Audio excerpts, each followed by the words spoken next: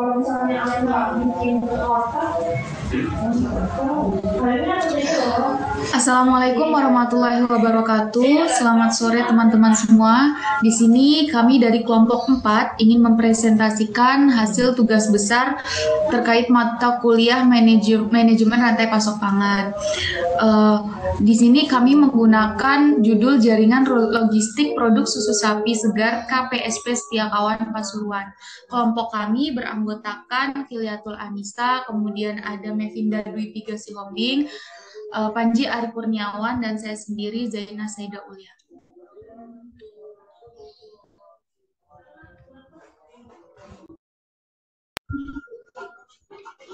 Koperasi Peternakan Sapi Perah atau KPSP Pasuruan merupakan koperasi terbesar uh, di Provinsi Jawa Timur.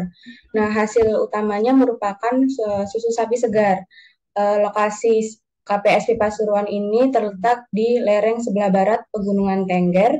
Wilayah kerja KPSP sendiri ini meliputi 12 uh, eh, desa yang termasuk pada kecamatan Tutur Nongko Jajar dan saat ini KPSP ini memanfaatkan teknologi informasi bagi pengembangan usahanya yang merupakan kerjasama dengan pemerintah dan organisasi lokal.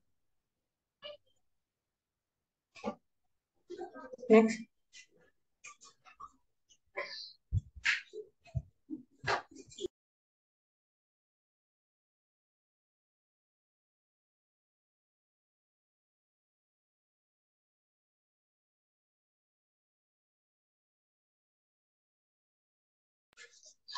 Uh, simpul asal dan simpul tujuan dari rantai pasok KPSP Setiakawan sendiri itu uh, dimulai dari peternak sapi yang menjadi pemasok susu sapi segar. Nah, rantai berikutnya ini berada pada tempat pengumpul sementara TPS yang kemudian akan dilanjutkan ke kooperasi susu Setiakawan ini.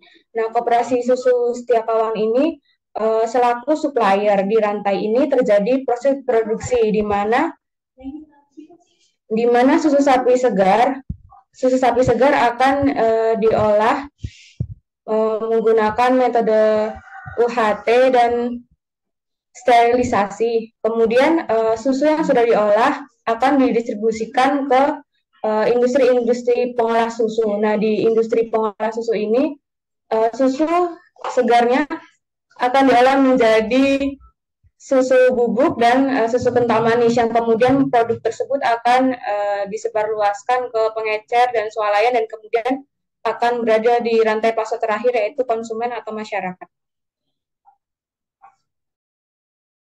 Berikut merupakan peta distribusi susu sektor hulu yaitu dari pabrik pengolah uh, atau di KPSP Pasuruan yang berada di Lingko Jajar menuju ke pabrik uh, atau industri pengolah susu yang berada di Jakarta.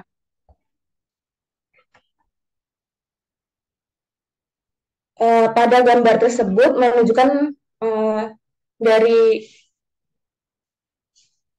garis merah menunjukkan rute pengiriman susu menggunakan jalur darat dan sedangkan uh, garis hijau menunjukkan rute pengiriman susu menggunakan jalur laut.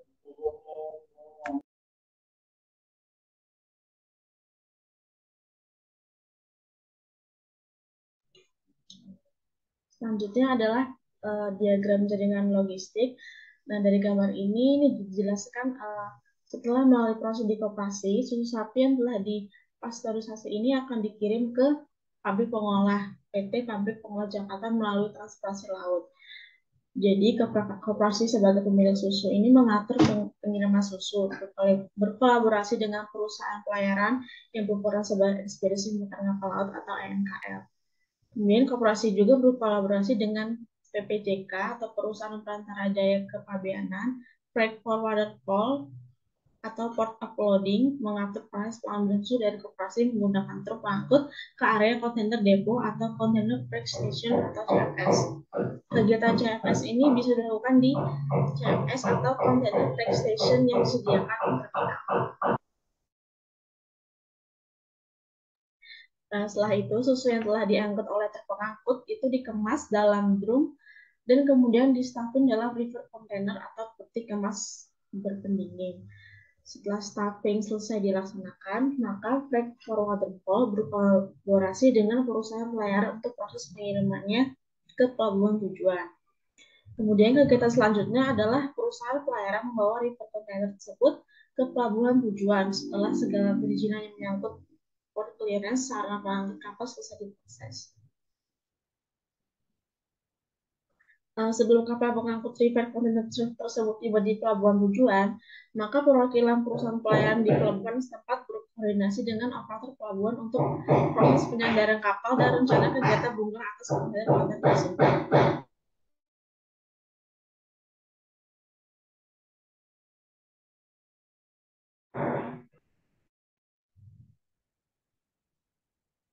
Kemudian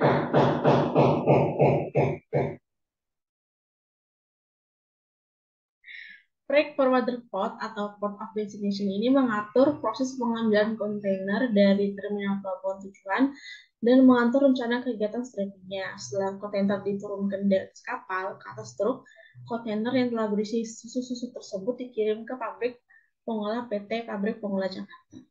Next.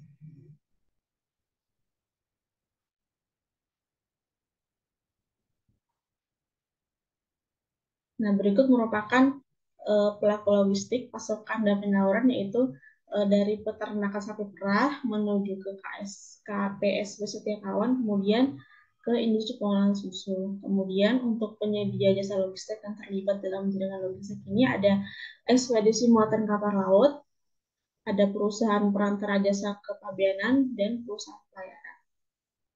Next.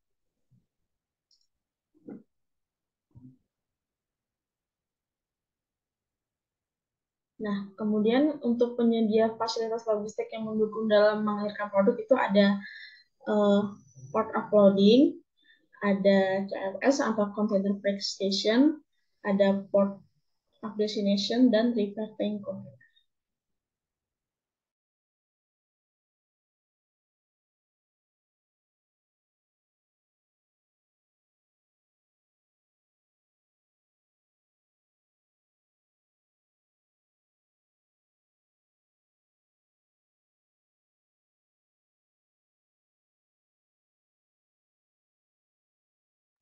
Nah, eh, kemudian adalah permasalahan yang dihadapi yaitu kos atau biaya yang besar dikeluarkan oleh KPSP, setia kawan dan profit yang kecil didapatkan oleh KPSP setia kawan. Hal ini dikarenakan pengiriman susu masih menggunakan jalur darat dengan uh, menggunakan truk. Next.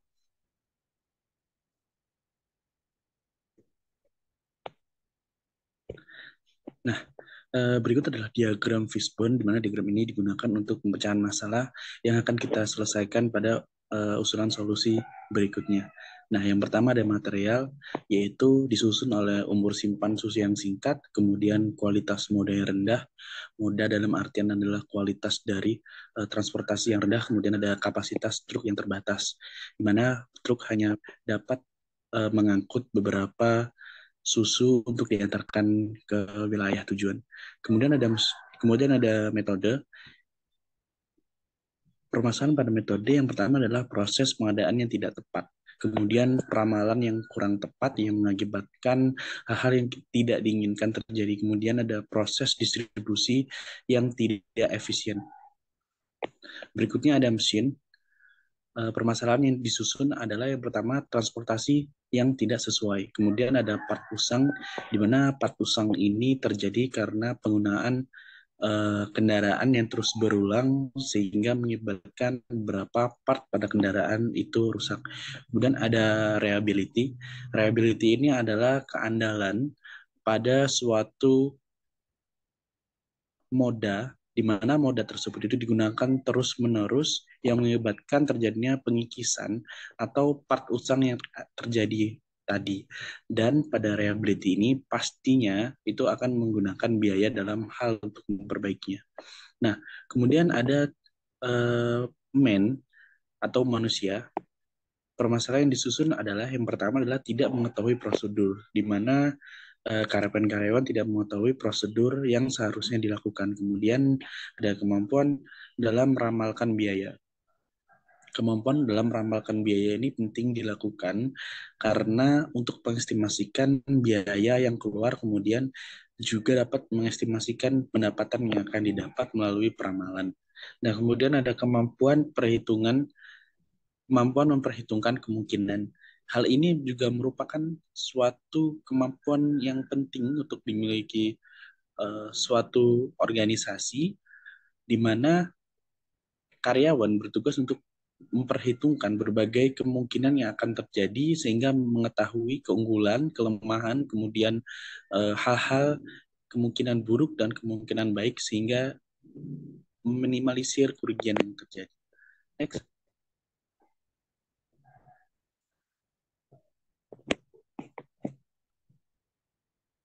Nah, berikut ini adalah usulan solusi pengiriman menggunakan jalur laut sektor bulu inbound atau uh, koperasi pabrik. Maksudnya uh, dari koperasi ke pabrik.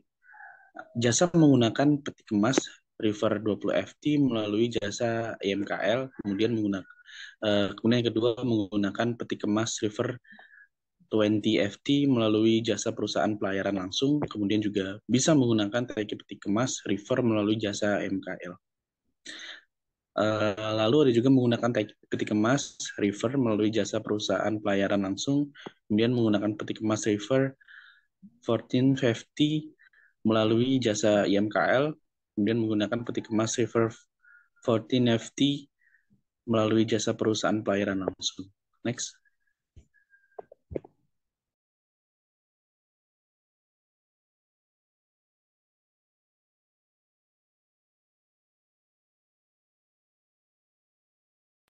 Berdasarkan permasalahan dan uh, usulan solusi yang telah dijabarkan terkait uh, terkait kos atau biaya yang besar ke, uh, yang dikeluarkan oleh koperasi dan profit yang kecil yang didapatkan oleh koperasi tersebut karena pengiriman menggunakan jalur darat maka uh, solusi yang telah di, yang diberikan yaitu menggunakan pengiriman uh, perjalanan jalur laut Berikut merupakan tabel dari perbandingan waktu perjalanan jalur darat dan perjalanan jalur laut. Dalam tabel dalam tabel tersebut diketahui bahwa uh, waktu perjalanan jalur darat uh, ditempuh selama uh, dua, dua hari dan kemudian pada jalur laut itu rata-rata ditempuh selama dua setengah hari. Next.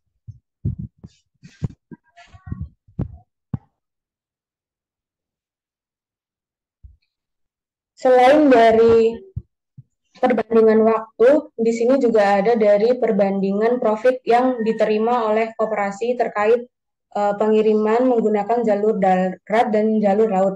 Nah, pada jalur darat ini uh, profit yang didapat oleh koperasi yaitu sebesar 31 miliar dan sedangkan menggunakan jalur laut itu paling besar yaitu mendapat profit senilai 36 miliar. Maka dari itu uh, maka dari itu untuk uh, mendapatkan profit yang lebih besar dengan waktu yang lebih sedikit maka digunakanlah uh, pengiriman susu tersebut menggunakan uh, perjalanan jalur laut. Next.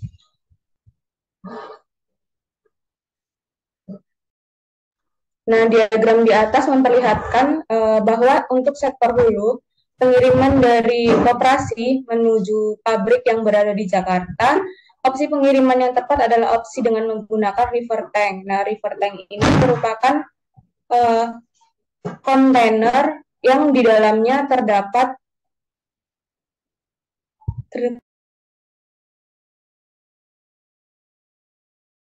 yang di dalamnya terdapat uh, pengatur suhu atau untuk su agar susu tersebut tidak uh, cepat membusuk. Jadi ada pengatur suhunya untuk agar uh, menjaga suhu susu tetap dingin.